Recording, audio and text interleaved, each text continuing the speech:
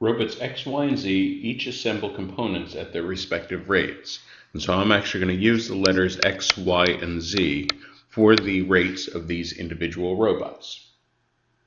If R sub X is the ratio of robot R constant rate to R robot Z's constant rate, so Rx equals the rate of X over the rate of Z, and Ry is the ratio of robot Y's constant rate to robot Z's constant rate. So Ry equals Y over Z.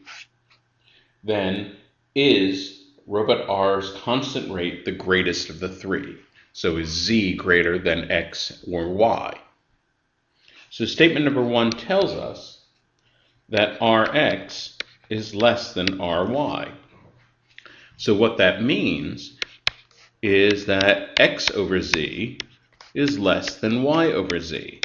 And if we multiply both sides by z, we do get that x is less than y. So that's interesting. Statement number one tells us that y works faster than x, but this tells us no information about how z compares to either of them. So this statement by itself is insufficient.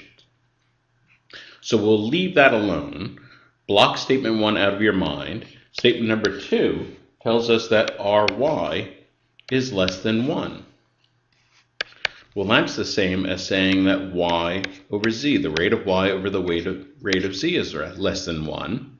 Multiply both sides by z here, and we get that y is less than z.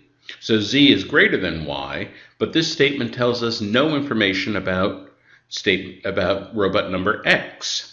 And so we have no way of knowing how z compares to x, and we have no way of knowing whether z is the greatest of the three. So this statement also, by itself, is insufficient. When we combine the statements, though, well, now we know that x is less than y, and y is less than z.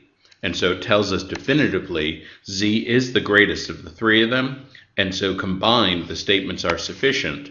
Answer choice C.